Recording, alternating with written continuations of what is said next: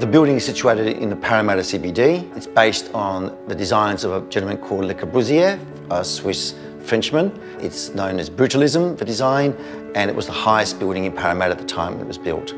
The building was run down. It was pretty much empty. The tenants that were in the building, many were here since 1963, and we couldn't get a return on the investment. We needed to change the way we were consuming electricity. So we had to change the air conditioning system, had to change the building management system, had to install LEDs and sensors, and pretty much try to manage how we spent the power.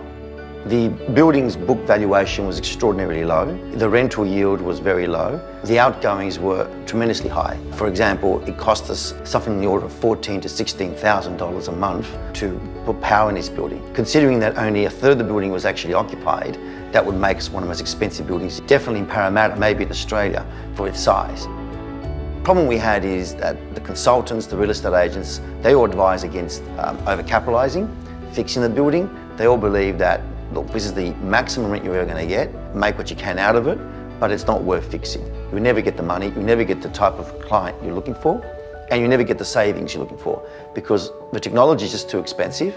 The banks won't lend on it because the bank's are not confident you get your money back. We visited council with a proposal to build a car park at the rear of the building. And at that meeting, we floated the idea of refurbishing the building. We told the council that we had some difficulty in raising the finance and they proposed that we look at the uh, building upgrade finance product. So we looked into it and we're happy we did so. We transformed an underperforming asset, so now we're three times more profitable than we were in the past. We have a better type of tenant. The building is full, there's no vacancy, and more importantly, uh, people are happy to be here and want to be here. So we have a demand for, for new tenants to come in. Interestingly, the, property owners, not just in Parramatta, have the perception that if you're going to spend a dollar, you need to get your dollar back.